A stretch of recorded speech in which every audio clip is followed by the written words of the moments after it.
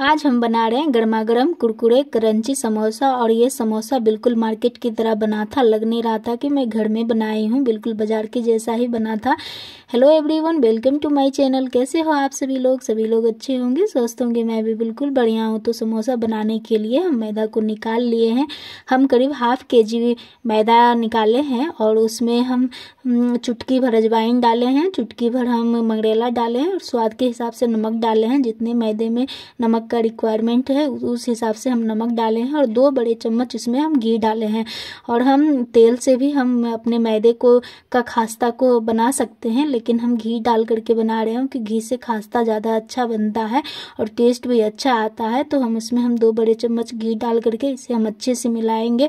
इसको बहुत अच्छे से मिलाना है, बहुत देर तक, दस मिनट तक मिलाना है तो देखिए इसका किस तरह से मुट्ठी बंध जा रहा है। तो जब ये मैदा बहुत अच्छे से मिल जाए तो इसको मैदा को हम गुथ लेंगे। तो हम एक साथ पानी नहीं डालेंगे, बिल्कुल थोड़ा थोड़ा करके पानी इसमें डालते जाएँगे। तो इसको जितना कम पानी डालेंगे, उतना अच्छा हमको, हमारा समोसा बनेगा। तो इसमें हम एक साथ पानी नहीं डाल रहे हैं। हम थोड़ा थोड़ा करके पानी डाल रहे हैं, जितना रिक्वायरमेंट है, क्योंकि मुझे बिल्कुल इस मतलब हार्ड बनाना है इसको। तो तो देखिए, हमारा ये जो है, गुथ गया है हमारा मैदा। तो देखिए, कितना हार्ड ये गुथाया है। बिल्कुल बिल्कुल कड़ा है और इसका समोसा काफ़ी अच्छा बनेगा। तो इसको हम आधे घंटे के लिए इसको ढक करके रख देते हैं एक जगह। तो इधर हम आलू उबाल करके रख लिए थे तो ये आलू हमारा ठंडा हो गया है तो सभी आलू के छिलके को हम निकाल लेंगे। तो पहले ही आलू आलू को उबाल करके रख दें। ठंडे आलू से क्या है, थोड़ा अच्छा रहता है। और गरम गरम गरम आलू से बनाएँगे तो बिल्कुल मतलब हार्ड नहीं रहेगा आलू।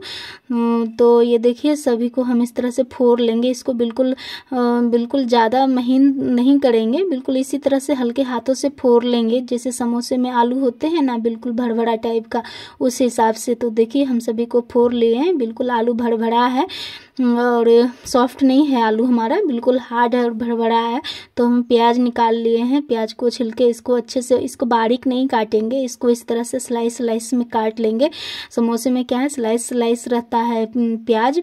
तो इस तरह से हम प्याज को स्लाइस स्लाइस काट लिए हैं और इसमें अदरक नहीं डालेंगे, सिर्फ़ लहसुन डालेंगे क्योंकि लहसुन का टेस्ट जो है समोसे में काफ़ी अच्छा आता है। तो लहसुन को भी हम इस तरह से हम पीसे नहीं है, बस चूर लिए हैं। तो अभी हम इसको आलू को अपना फ्राई करते हैं। तो हम तेल डाले हैं, सरसों तेल में बना रहे हैं। और इसमें देखिए, हम धनिया डाले हैं, सौफ और थोड़ा सा जीरा और काजू और मूंगफली और एक मिर्च डाले हैं। ज़्यादा हम तीखा नहीं बना रहे हैं इसका मसाला। तो हम एक मिर्च डाले हैं हरा और थोड़ी सी ये थोड़ा सा भुना जाए, सभी सभी जो फ़ोरन में डाले हैं सब थोड़ा भुना गया है। तो हम प्याज डालते हैं। प्याज को भी हम ज़्यादा नहीं भुने हैं, बस थोड़ा सा हल्का सा सॉफ्ट कर लिए हैं और हम उसमें जो है लहसुन डाल करके उसे भून के थोड़ा सा और आलू डाल दिए हैं। तो आलू को भी हम पूरा, अभी हम तेज फ्लेम तेज रखे हैं अपने गैस का। तो अभी इसमें मसाले डालेंगे तो थोड़ा सा हम लहसुन डाले, मसाले हम ज़्यादा नहीं डाल रहे हैं क्योंकि हमारे बच्चे, बच्चों के लिए बना रहे हैं।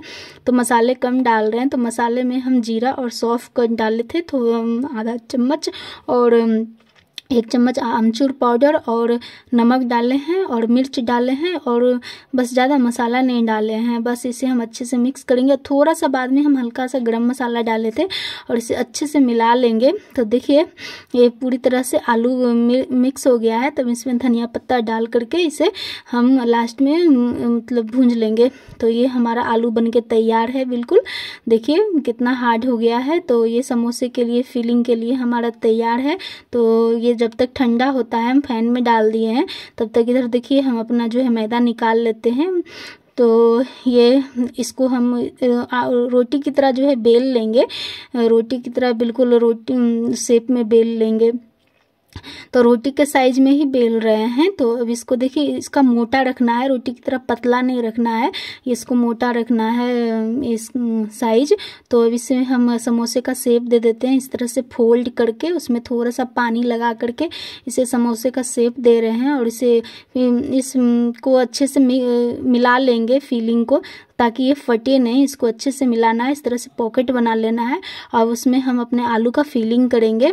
तो इस तरह से पॉकेट बना के आलू का फिलिंग करके इसे इसका इसके मुँह को बंद कर देंगे। उस, उसी तरह से पानी लगा करके पानी लगा के बनेंगे तो अच्छे से चिपक जाएगा। तो ये देखिए हमारा समोसा का साइज़ बिल्कुल समोसा बन के तैयार है फील हो गया। इसी तरह से हम दूसरा भी बना लेंगे। एक और मैं आपको दिखा देती हूँ किस तरह से इसे फोल्ड करना है।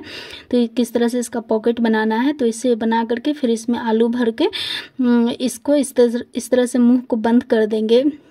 अच्छे से बंद करेंगे ताकि तेल में डाले डाले तो ये फटे नहीं। तो इसी तरह से हम अपना सारा जो है समोसा देखिए, हम अपना फिल कर लिए हैं। और इसे हम बहुत बहुत गरम तेल में नहीं डालेंगे, बिल्कुल थोड़ा सा गरम हो जाए उसी तेल में डालेंगे। ज़्यादा गरम तेल में डालेंगे तो क्या है, समोसे पे बबल्स आने लगेंगे, पूरी की तरह फूलने लगेंगे। तो हम इसको बहुत ज़्यादा गर्म में नहीं डाले हैं। तो ये देखिए एक तरफ़ हमारा पलट हो गया है तो, तो इसको हम पलट दिए हैं। थोड़ी देर रखेंगे। इसको बिल्कुल तेज़ आँच में नहीं बनाना है, मीडियम मीडियम फ्लेम पे बनाना है। तो देखिए, हमारा फ़र्स्ट राउंड हो गया है। तो हम सेकेंड राउंड के लिए हमें अपने समोसे डाल रहे हैं। तो सेकेंड राउंड के समोसे हम देखिए, तेज, तेज़ आँच में डाले थे। तो इसका देखिए, बबल्स निकल गया था। ये सभी में बबल्स निकल गया है। फ़र्स्ट राउंड वाले में बबल्स नहीं निकला है। तो ये देखिए, हमारा समोसा बन के तैयार है। मेरा वीडियो अच्छा लगा वीडियो को लाइक करे, चैनल को सब्सक्राइब करे। बाय